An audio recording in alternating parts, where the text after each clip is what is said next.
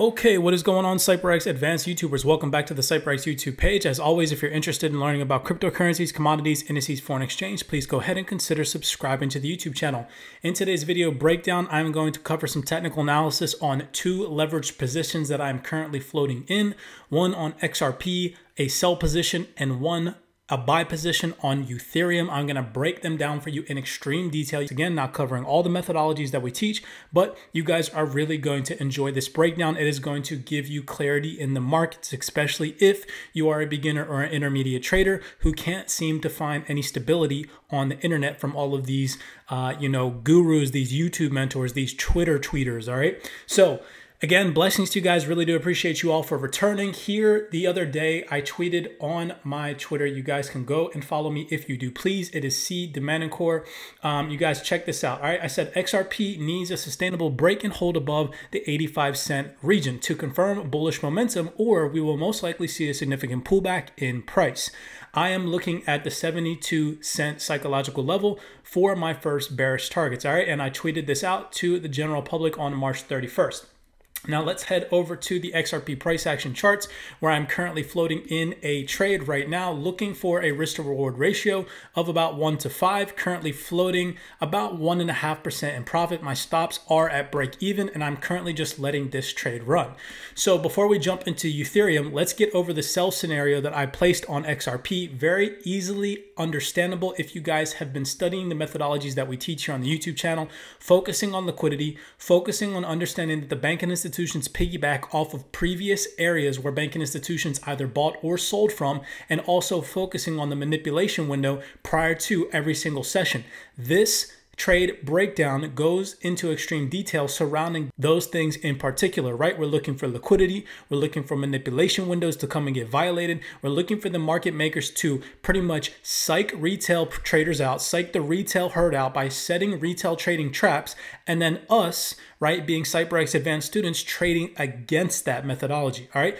All of that formulated into this strategy allowed me to capitalize so far on a one to one and a half risk reward ratio, looking for a one to five to come into fruition. Most likely, if we do get the drop down into the 76 to 78 cent region, I will close this trade. I'm not going to be greedy. So make sure that you guys smash that like button. Without further ado, let's jump into this breakdown. So I had mentioned to you guys on the Twitter that we need a sustainable break above the 85 cent region in order to see any bullish momentum. As you guys can see on March 31st, the day that I tweeted that, we got a significant meltdown down below that psychological level. So once we had this momentum pick up on XRP, as you guys can see, right, the banking institutions, private investors, whale entities are the only people who have the amount of money, the amount of volume, right, to move the market from A to B this fast. So once they moved the market from A to B this fast and smashed through this psychological level, all I was thinking to myself, okay, sellers have picked up momentum and seller interest is more involved in XRP price action than bullish momentum. Now, we retraced all the way back up to that 85 cent psychological level. Now, this is where things get interesting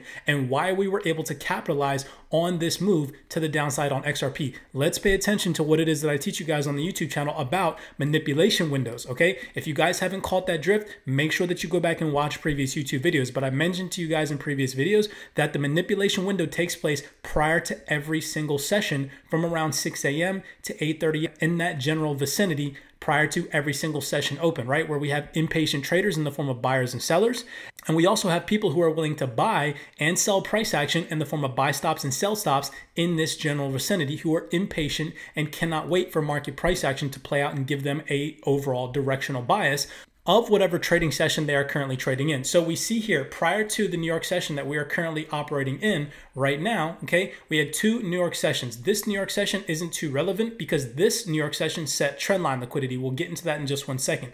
But this area of interest right here for this New York session, let's look at the manipulation window. We see that the manipulation window in the form of early sellers or people who had buy stops above these highs or this double top formation right here. I'll just go ahead and highlight that for you all. We have a double top potential formation right here. And then if you don't want to look at it that way, we even have a potential double top formation there where we can see retail resistance, right, in the form of this M formation existed in this manipulation window. The significance about this manipulation window is to see if liquidity in the form of retail money exists in this window or not. And if the bank and institutions don't target this money, most likely at a later date they will. From this manipulation window, what started to take place? Trend line liquidity where we can see in the form of retail money, trendline followers were taking sell positions from the touches of these trend lines. So liquidity existed all above these highs. Not only that, but we see that the market makers failed to grab the liquidity from early sellers prior to the New York session. So this was an area of interest for us. And what did it also have to link up with? The psychological level of 85 cents, which I'd mentioned to you guys on Twitter. If we do not break and hold above that, most likely we are going to see a significant pullback in price on XRP to the downside. Okay, coming into this New York session, Again, what it is that we focus here at CYPRX before we capitalize on buy or sell positions is a grab of liquidity, a rejection of a psychological level, and an attack potentially on retail money. Well, if you align all of those things that I teach you guys on the YouTube channel, they come into fruition to the T. We see areas of liquidity that the bank and institutions might want to grab that they had not grabbed yet. Coming into this New York session, we see them align with the 85 cent psychological level and this manipulation window to the T. We can see that this high, right, in the form of retail resistance, if I go ahead and I kind of just manipulate this drawing here just a little bit, and we turn it into retail resistance, we can imagine that there was liquidity that existed all above these highs in the form of what? If I go ahead and hit the replay tool right here, imagine you're a baby pip reader, right? You read BabyPips or you have some guru on YouTube that's teaching you support resistance methodologies. This right here to a retail trader is a resistance trading dream where we see the market pushed back up into this area of quote unquote resistance, and so many people would be taking leverage sell positions from this high. The banking institutions know that, okay? They're taking sell positions from here and they're willing to buy at these highs if price surpasses the 85 cent psychological level. So there is what that exists above these highs liquidity, okay? Same thing here. The market pushed back into this general vicinity and people were most likely taking leveraged sell positions. Once the market pushed them a little bit into profit, they were most likely, if they were smart traders, moving their stop losses to break even. The banking institutions know that liquidity exists above these highs. So what did we do here at CYPRX? We waited to see if the market could come up into this general area of liquidity and reject a psychological level in this zone. And what did we get to the T? We got a rejection of the 85125 psychological level because we are trading XRP against the United States dollar. We're going to be utilizing the quarter methodology. So here, I'll show you guys. Okay, here we have the 8125 psychological level. I'll go ahead and put that on for you all and watch price action come up into this general vicinity and reject it. It fails to hold and close a bullish break above it and prints a bearish engulfing candlestick and completely reverses back to the downside and breaks and comes and attack all of these higher lows and trendline liquidity. We can go ahead and imagine now retail traders are taking sell positions from these highs. We also have an area of manipulation, again, the manipulation window that was not attacked. So we have liquidity above these highs. Now, on the flip side, we have liquidity in the form of retail trendline buyers that exist beneath these lows. So this is a clear liquidity trap by the market makers manipulating price action. Again, proving my theories to you all that the market makers are in control of these markets at all time. So here you guys can see them setting up trendline liquidity. Then they come, they make a run on the liquidity from the manipulation window. Right here is where we entered into price action. Look if we zoom in, okay? Immediately, once we tapped into the 85125 psychological level, we see a bullish candlestick.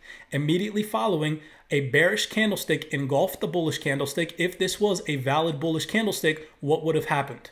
What would have happened, guys? A higher low, higher high, higher low formation would have formed. What did we get? What did we get that confirmed this entry for us? Can anybody answer that question watching this? We got a lower high, lower low, lower high formation. Okay, right here, this validated our bearish entry. Why? Because if the market was going to continue higher, it would have created a higher low and created a higher high. It failed to do that. What did it do? It created the definition of a downtrend after grabbing liquidity, which we've identified, and rejecting a psychological level. Okay, now, what do we do? We see the price action of XRP come and attack all of the buyers beneath these lows. And that solidified this trade entry for us, which is now currently floating 1.5% in profit. Absolutely beautiful. Again, we're looking to capitalize on the 1 to 5 risk reward ratio for this trade. Potentially looking to see if XRP can come down to the 79 cent to 78 cent psychological level. My stops with this trade on a leveraged account. I trade with Osprey FX. I'm not going to recommend them as a broker. I personally just like them because their uh, customer service is absolutely outstanding in my opinion. You know, you're actually able to talk to a live agent if you have any actual questions of them. Um, but my stops are moved to break even on this leverage position. Currently, again, like I said, floating 1.5% in profit. I have not taken partials on this trade yet. If we do tap into the 80 cent psychological level, I will take partials on this trade and trail my stop loss. However, because this trade is at break even, if it does reverse and come and move against me, guess what? I'm not butthurt about it. I traded the strategy to the T, which is trading against the retail herd, against retail methodologies, and really understanding and being intuitive with price action one within itself. All right. So this was the XRP trade. If you guys like that breakdown, make sure that you go ahead and smash that like button. Don't forget to subscribe to the YouTube channel. There's a lot of individuals who are watching this content who are not subscribed. It is free to do so, and it helps boost the YouTube algorithm. Now, let's go into the Ethereum buy position that we are currently floating in. Okay. We are looking for this trade to come now that we're floating in this trade and stops have been moved to break even, we're looking for them to come and attack the manipulation window from Asia session, right? If I go ahead and I highlight from around 8.30 a.m. Asia session, to around 6 a.m. Asia session. That's just this general vicinity. We can see here the manipulation window exists in the form of early sellers, where we can see liquidity in the form of a double top pattern potentially exists above these highs. Can we see Ethereum come up and attack this area of liquidity? Okay, now how are we able to capitalize on a buy position here? Understanding the piggyback methodology, which is another methodology that I've attempted to teach you guys on this YouTube channel. Not only understanding manipulation in the form of the manipulation window prior to every single session, but understanding that the banking institutions like to piggyback off of previous areas where the banking institutions prior to the current trading session that we're in either bought or sold from. So utilizing that methodology, let's just focus because we're New York session traders on where New York session purchased price action from on Ethereum. So if we look at this trading session on New York, we see that the banking institutions bought from this general vicinity, right? Order block traders would highlight this general region and say, okay, well, look, I'm going to be looking for buy positions if we can come back into this order block. Same thing here. They're looking at this general vicinity as an order block area. However, us here at CYPRX, we know that the banking institutions don't take trades from order blocks. What do they take trades from? What have I taught you guys so far on this YouTube channel?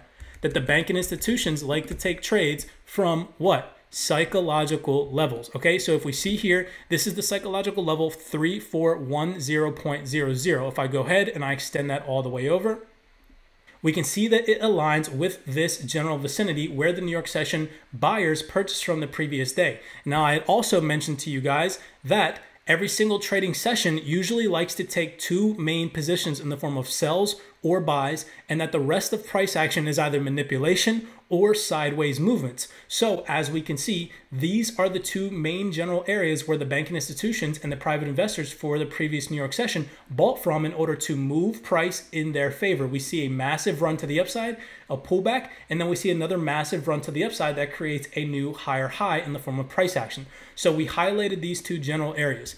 Fast forwarding over here to this New York session where we caught this buy scenario, let's go ahead and zoom into current price action and see what it is that we see. Very easy to understand. Again, paying attention to manipulation windows, paying attention to liquidity in the market, and seeing how price action reacts to those liquidity regions. Well, looking at this price action here, number one, highlighting the manipulation window from around 8.30 a.m. to 6 a.m. New York or Eastern Standard Time. We can see here that the market makers manipulated early buyers and early sellers, okay? So all we had coming into this trade was understanding that they came to attack early buyers or people who were willing to sell in the form of sell stops if price did come beneath these lows, okay? In the form of, again, a retail trading pattern, double bottom formation, okay? As you guys can see here immediately out of the manipulation window, the market makers came and attacked this general vicinity or this area of liquidity where we can imagine people had leveraged buy positions prior to the 8:30 a.m. window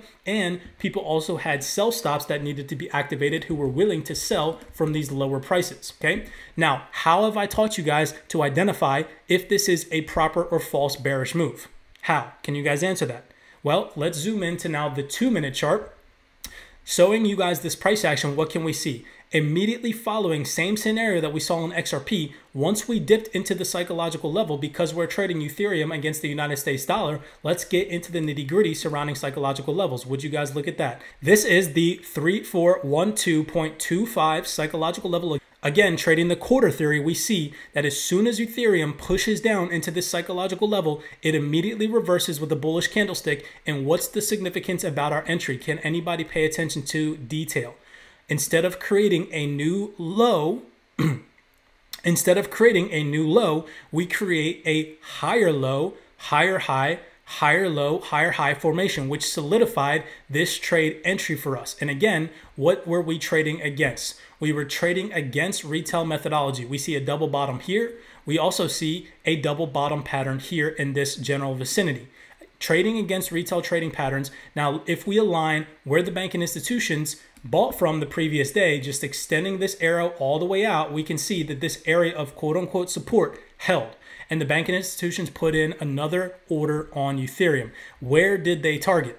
Where did they target? Again, proving my theory and my methodologies to you guys that I'm teaching you on YouTube, or at least attempting to wake you all up, right? We see that they came to target money above the highs in the manipulation window. Okay. Now, in the form of people who sold in the manipulation window, or in the form of people who have buy stops above these highs in the manipulation window from people who are willing to buy at higher prices, either way, it is liquidity in the market. When you can understand these methodologies, you can capitalize on buy and sell scenarios every single day in the market, but that does not mean every single trading day is time for you to trade these markets. Know when to sit on your hands, know when to participate in the market, and understand manipulation and psychological levels in this market is key to your survival. Not just thinking that Bitcoin, Ethereum, altcoins, XRP, Casper, all these tokens are always bullish. Really understanding the nitty gritty of price action, what the banking institutions, the private investors are doing, which is targeting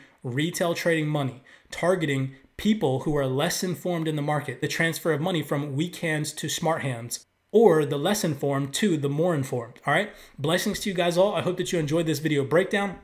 I really do appreciate the love and the support. You know, this YouTube channel is here for the individuals who are really looking to excel in their trading career. I'm not here to please people. I'm not here to give you guys bullish predictions like all these other YouTube channels. And I'm definitely not here to fill your guys' head with a bunch of hopium. I'm here to give you guys clear cut clarity in the market so that way you all can execute trades profitably okay, by utilizing these methodologies. Hopefully you can soak up this information and you can apply it to your trading. And if not, and you're having a hard time applying what it is that I'm teaching you all, you know, skimming the surface on the YouTube channel, the link is in the description down below for the mentorship. Take it upon yourself and really learn technical analysis so you can stop getting babied around in this market, okay, by people who have no idea what they're doing. As always, be cognizant, be aware. Blessings to you guys all. I will see you all in the next video breakdown.